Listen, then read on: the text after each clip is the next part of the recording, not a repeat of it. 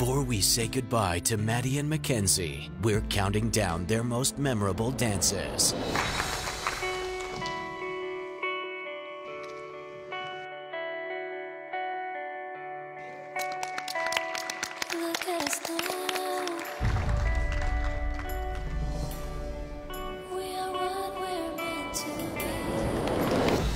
Maddie and Mackenzie say farewell to Dance Moms.